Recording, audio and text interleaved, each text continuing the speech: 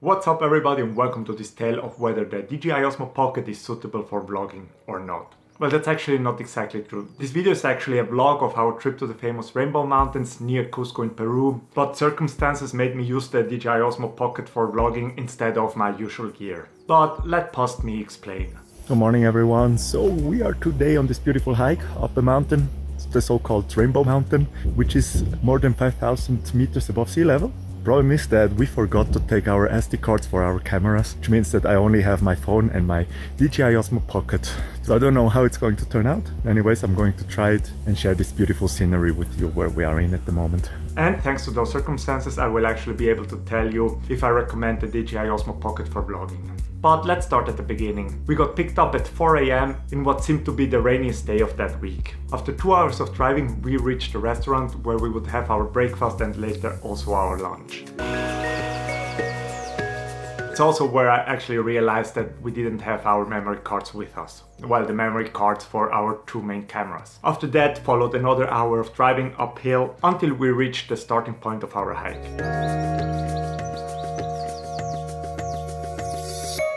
indispensable. Que no deseen llevar, déjenlo en vuestro asiento, porque en el mismo transporte volvemos también a restaurante. ¿Bien?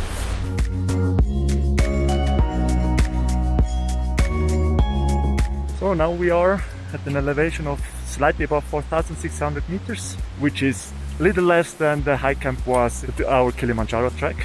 This is where we start our one and a half hours hike up to the viewpoint, which is above 5,000 meters, and I'm already feeling the lack of air. Let me jump in here real quick to tell you about one flaw. The camera is not wide angle enough for what I'm used to or what I would like to have when I'm vlogging. As you see it cut off my head and it doesn't show much of the background even though I'm holding the camera like at an arm's length away from my body. If I use this camera with the wide angle lens I can actually hold it like this close and I will still get the same angle as when I'm holding the DJI Osmo Pocket this far away. But maybe I'm just expecting too much.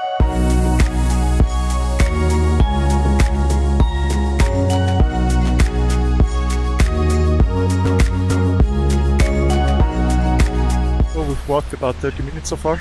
It's pretty flat, so it's not that tough. It's still doable. It's not as tough as in the Kilimanjaro at this height. I think because we are better adapted. But as you see, still not very beautiful. Still, how do you call it, fog all around us. I hope it gets better. Ah yes, the sound. Well, First, let me say, I don't have a microphone attached to this camera. I never bought a microphone for the DJI Osmo Pocket because vlogging with it was never the intention. I wanted to use it for other things. But also because I'm used to the GoPro's microphone, which turns out to be actually way better than the one in the Osmo Pocket. Let me play you the same clip, but without boosting the sound. As you see, still not very beautiful.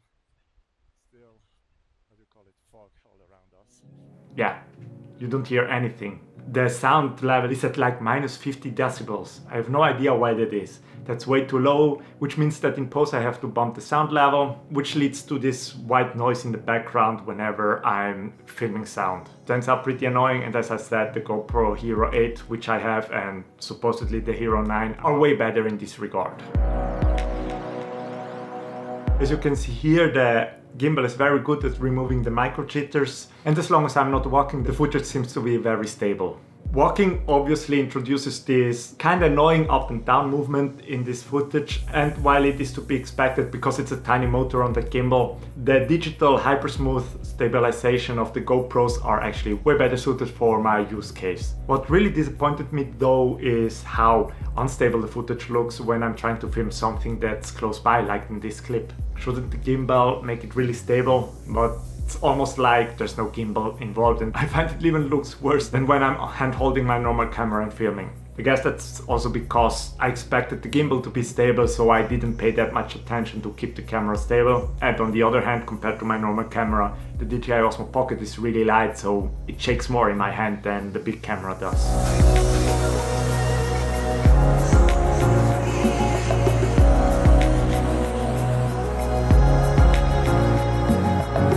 Been raining a little bit. Not raining, I mean snowing. My hands are pretty cold. Right now we have here 15 degrees south of the equator, the same temperature that Switzerland has, like between 0 to 5 degrees. And as you see, still nothing to see around us, still everything with fog. And actually something interesting that I learned today is that up here there's not much agriculture. The only thing that grows is potatoes. Alpacas also are the main source of protein and they use alpaca poop to make fire. Actually right now we should be approaching 4800 meters of elevation which means that we are practically at the highest point of the European Alps and well the highest point of Europe. So far we did uh, 70% of the flat part. Now the steep part is beginning, the last 30% of the way. I think it's going to be pretty steep, but shouldn't be a, much of a problem for me at the moment because I feel really well. As you see, we now reach a point of death. By that I mean no vegetation anymore. Sure, there are small patches of moss, but it's basically death all around us. As you see, still all foggy we don't see anything. For some reason we managed to choose the rainiest day to come here. Last few days have been sunny. Today we came here. It's been foggy. However, still I'm enjoying the hike, so that's fine even if we don't get to see the mountain.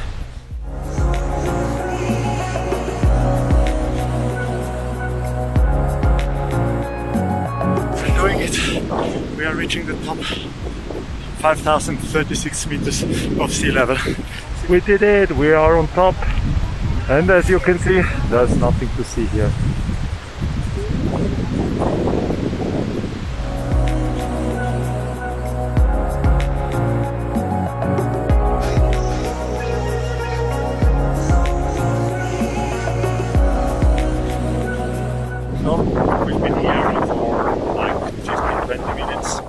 part the sound is really horrible. The DJI Osmo Pocket is here not to blame. It was really windy and all cameras would have trouble with it, even microphones with dead cats on them. And honestly I talked for about two and a half minutes in this scene and I have no idea what I said because I cannot understand anything.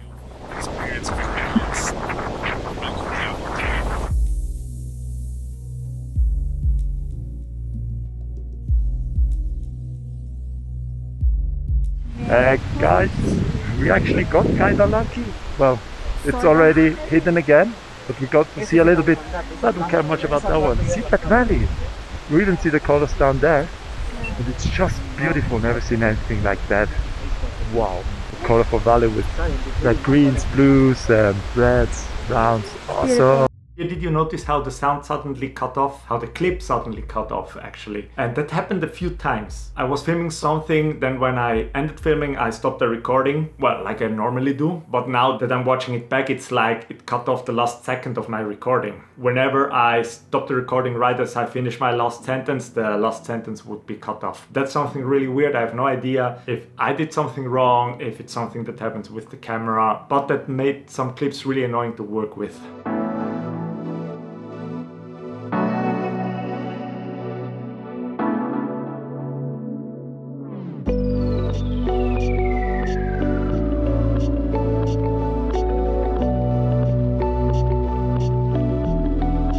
Is going down on horse. You can actually see her maybe back there far away. But now coming down, the fog has dissipated a little bit down here. And wow, this beautiful, they call it a lagoon. This is way more worth it than going up for that mountain because this is just magical. Please to my. And here it happened again. The clip suddenly cut off.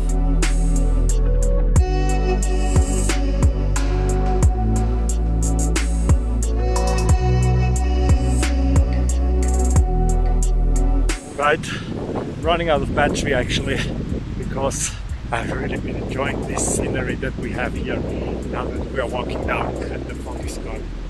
It's just, it's just, I don't, cannot describe it. It's the kind of scenery that I love, like valleys surrounded by high mountains, green, ragged. And here is another situation of where I would have liked if the camera actually showed more of the scene behind me the angle is just not wide enough and you cannot really see what I'm talking about. You only see my head, that's like in half of the frame, and the fog in the back. The most important part, besides me of course, is not really in the frame. Also, the battery life is disappointingly short considering that I didn't even film 30 minutes of footage. It might also be because it was really cold and as we know, cold weather shortens battery life.